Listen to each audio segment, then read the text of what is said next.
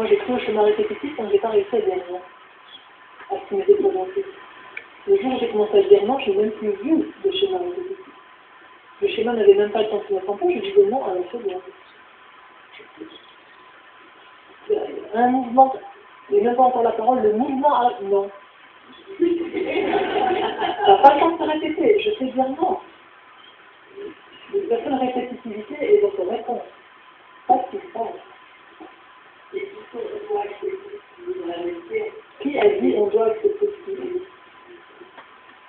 est Moi, c'est juste quand j'ai de la carte. Est-ce que, tu as, est-ce que tu crois que ce que j'ai dit, c'est qu'on doit accepter la réalité Non, la conscience, c'est non, d'accepter la conscience, c'est bien du Non, mais merci, il y a quelqu'un qui clarifier.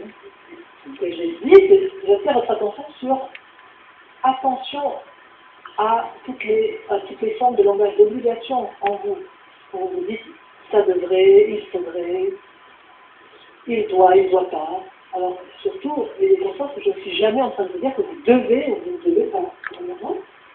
Et donc, je n'ai pas dit du tout que vous devez, ou la conscience ne veut pas vous accepter la réalité.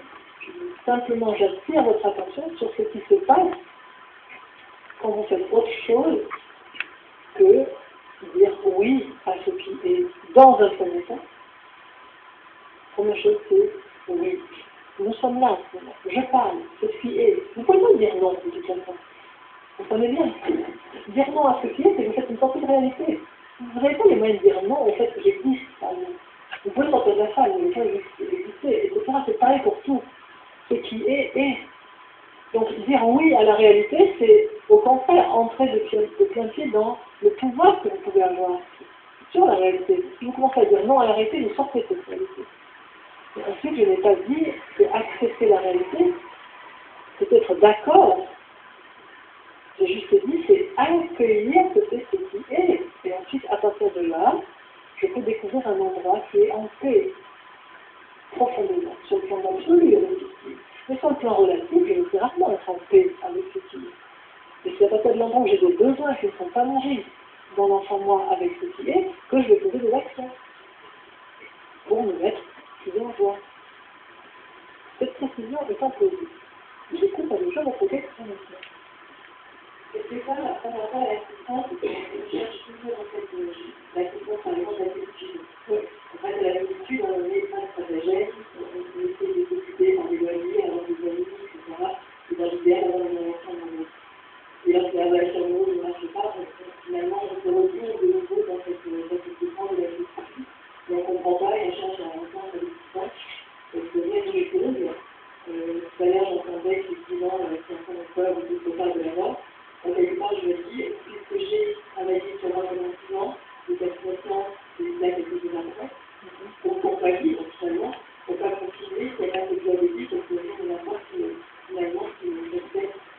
Je n'ai pas qui que ce soit, parce que toutes les personnes que je rencontre, finalement, rien ne me satisfait, ni accepter de mon fait, parce que c'est moi qui crée des insatisfactions, parce que c'est des autres, quelque part, pour me, pour me mettre dans un désaccord de la vie.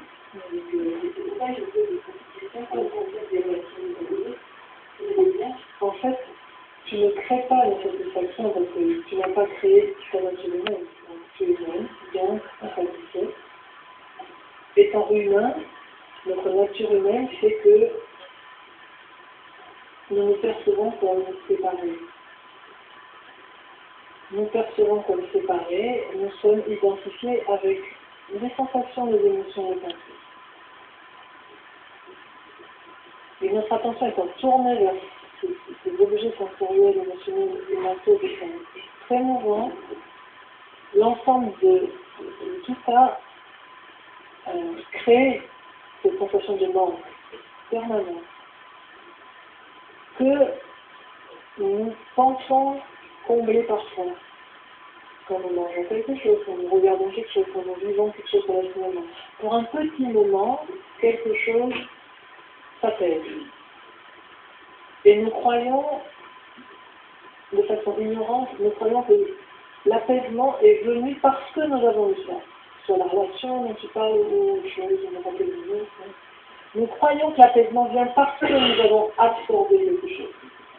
Alors qu'en réalité, l'apaisement est juste l'état que nous goûtons quand nous arrêtons de nous agiter pour attraper un truc, pour vouloir un chose. Quand nous cessons cette tension, quand nous cessons cette tension qui vient du mouvement du manque, nous découvrons que c'est déjà là avant. Et de façon très pratique, parce que chaque jour je m'ennuie. Hein?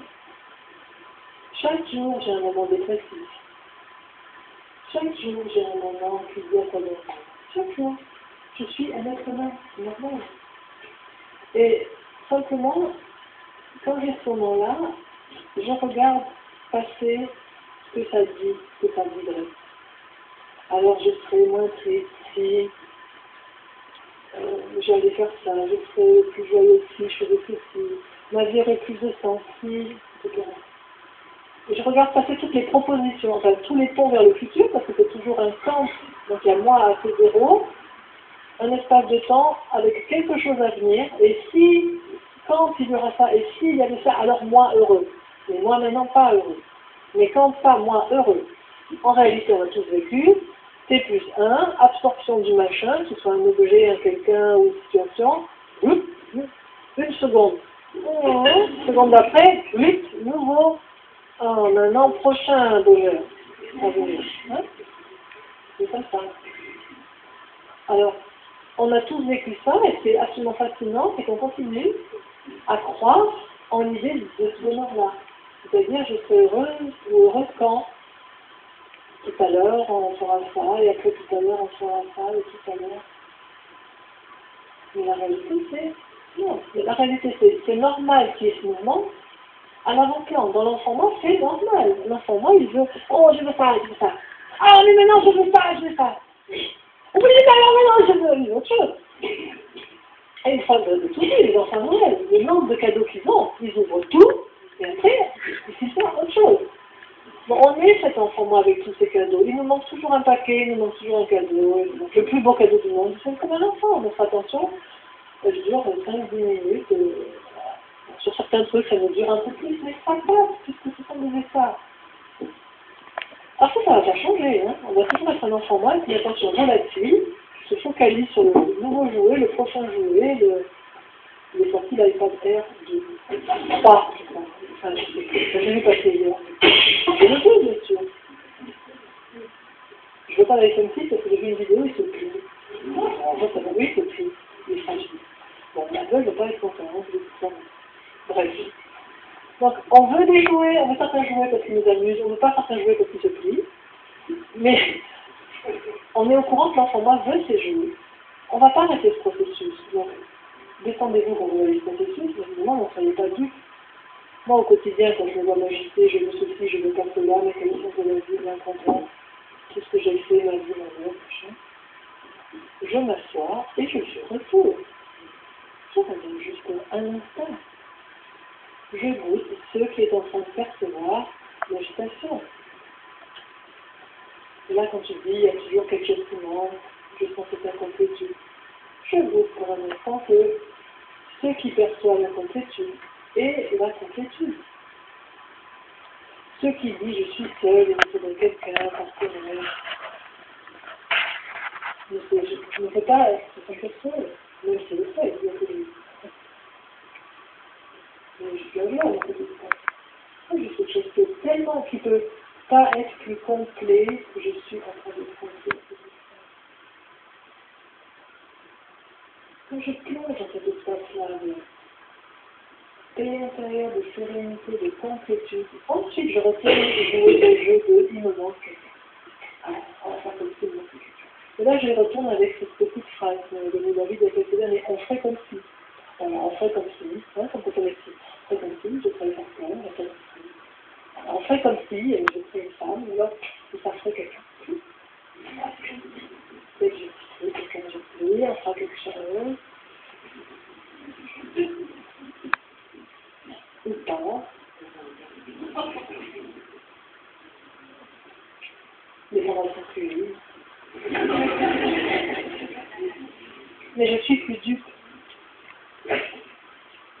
Donc, qu'est-ce que change au fond découvrir la réalité de qui nous sommes, ça ne change pas fondamentalement l'agitation et ce que fait l'enfant. Moi, ça change notre relation à tout ça.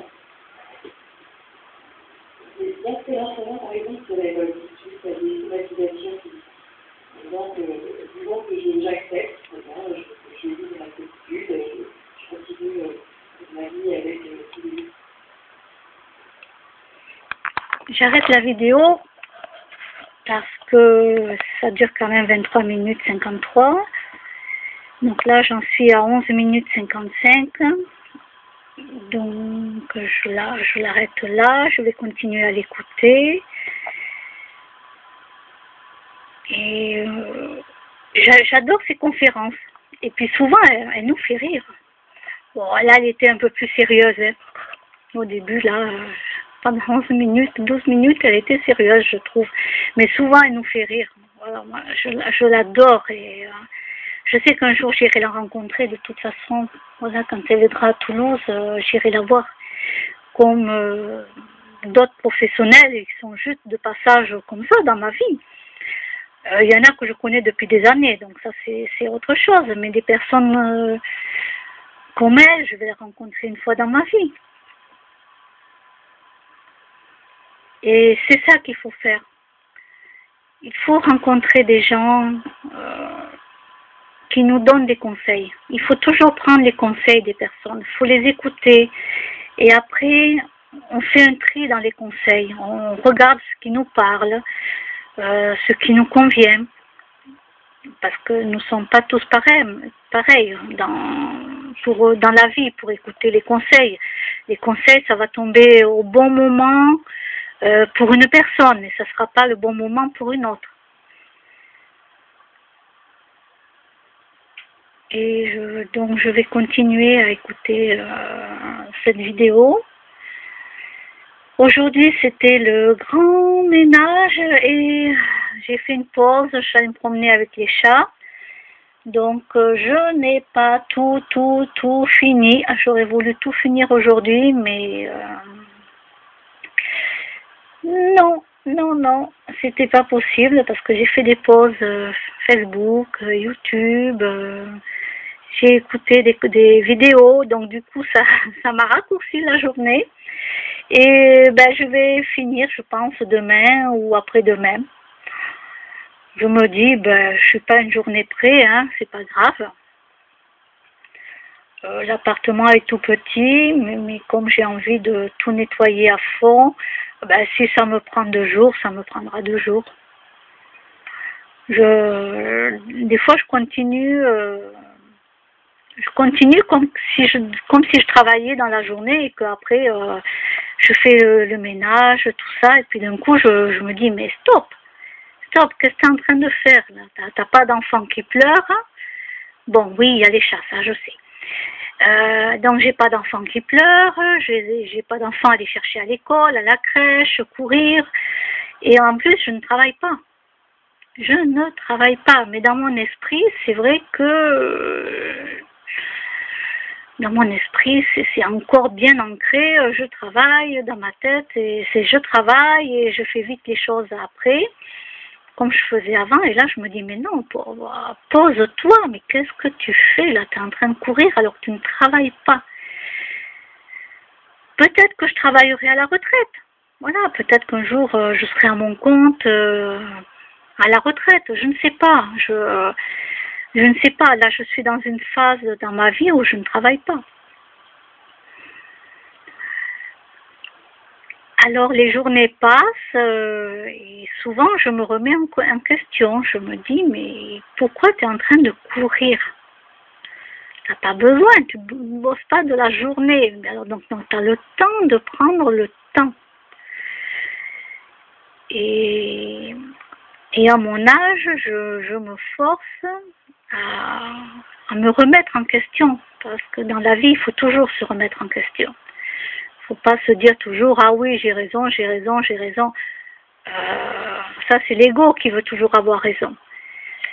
Mais quand on fait une pause, qu'on s'arrête et qu'on regarde autour de nous, on se dit mais en tout cas pour mon cas, c'est ce que je me dis, mais pourquoi tu cours? C'est une façon de parler, mais c'est ce que je fais. Euh, je, je, fais vite la vaisselle, je fais vite le truc, et puis je me dis, mais tu es chez toi là, tu n'es pas obligé d'aller courir. Euh, t'as pas de rendez-vous d'urgence, t'as rien. Donc, euh, je, je, me pose, je me pose et je me remets en question et euh, je m'auto-analyse. Je peux aussi m'auto-critiquer, hein. J'ai le droit de m'auto-critiquer, bah oui. Des fois, je suis pas d'accord avec moi-même. Non, non, je suis pas d'accord avec moi-même. Il y a un côté de moi qui veut ça et l'autre côté qui veut pas ça. Euh, par exemple, j'ai un côté de moi qui, qui voudrait devenir euh, respirienne, me nourrir de prana. Et j'ai l'autre côté de moi, donc toujours en moi, bien sûr, j'ai pas une double personnalité. L'autre côté de moi, non, qui veut toujours manger. Donc, euh, c'est la guéguerre. C'est la guéguerre entre un côté en moi et l'autre côté qui me pousse à manger. Alors pour l'instant, je ne mange que deux fois par jour. Je me force à ne manger que deux fois par jour. Et si à un moment donné je craque et je mange trois fois par jour, ben bon, ben tant pis. Hein. Je, me dis c'est l'autre côté qui a a gagné. Hein. Il a pris le dessus. Et ça, ça m'énerve.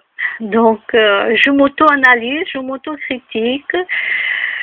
Et euh, bon après aussi, je, je me dis bon ben c'est pas grave. Parce que tu as craqué. Euh, une fois, bon, d'accord, j'ai mangé des frites cuites au four. Bon, j'ai mangé des, des frites cuites au four. Mon Dieu, j'ai craqué là-dessus. Oh, et moi qui veux perdre du poids, je veux mincir. Alors j'ai beau me dire, je suis mince et je suis bien dans mon corps. Ah ouais, ouais, je me le dis, mais j'attends toujours, hein. J'attends toujours. Donc mon poids s'est stabilisé. Euh, j'ai perdu 5 kilos mais comme je ne sais pas si c'est 5 kilos de masse grasse ou est-ce que c'est 5 kilos d'eau, de rétention d'eau, est-ce que, on va dire 5 litres, est-ce que c'est plutôt, moi je pense que ça serait plutôt euh, 5 kilos, mais euh, plutôt de muscle, allez, un peu de gras et du muscle, étant donné que je ne fais pas de sport. Encore, si je pratiquais la musculation, euh, il n'y aurait pas de souci, mais là, je, ne fais pas de sport. Donc pour l'instant, mon corps se stabilise et euh, j'espère arriver à un repas par jour. Donc ce côté en moi, il le veut, il le veut, il le veut. Et l'autre côté en moi, il m'énerve. Donc si ça vous arrive à vous aussi, ne vous inquiétez pas, c'est tout à fait normal et je compatis, je compatis. Euh, je suis vraiment de tout cœur avec vous parce que je sais ce que c'est. Bon, ben je vais continuer à visionner la vidéo et je vous dis à bientôt. Au revoir.